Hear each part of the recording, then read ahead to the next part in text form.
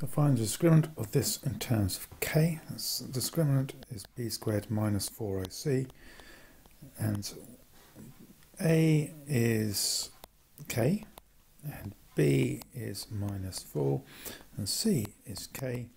And so b squared minus 4 times minus 4 is 16 minus 4 times a, which is k, times c, which is k. So the discriminant is 16 minus 4k squared.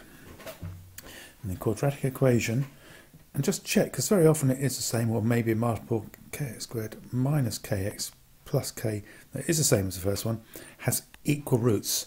Therefore, the discriminant is 0 discriminant equals 0.